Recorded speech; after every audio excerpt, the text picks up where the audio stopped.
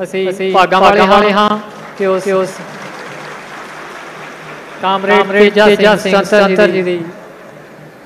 ਯਾਦ ਨੂੰ ਇੱਕ ਵੱਡੇ ਸਮਾਗਮ ਦੇ ਰੂਪ ਦੇ ਵਿੱਚ ਪੰਜਾਬ ਸਰਕਾਰ ਦੇ ਸਹਿਯੋਗ ਦੇ ਨਾਲ